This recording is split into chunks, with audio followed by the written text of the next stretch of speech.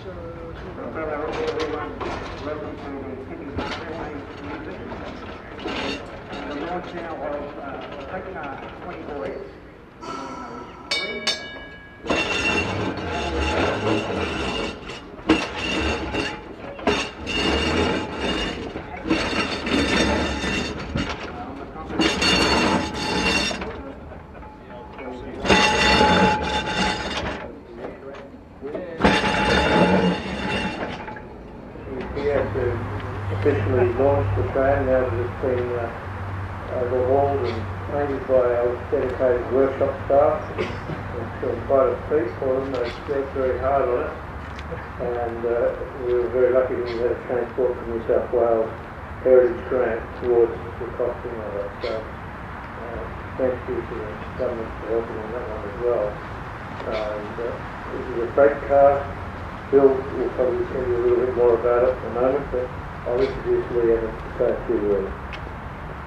So thank you very much. It's um, a great pleasure to be here today. It's been fantastic. It's the only car that I know that's got inbuilt car. Back in the 90s, the car body was done up. It was really in terrible condition.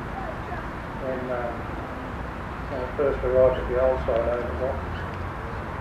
But with the, uh, the guidance of our late man, Rob Dowling, uh, the car was structurally rebuilt.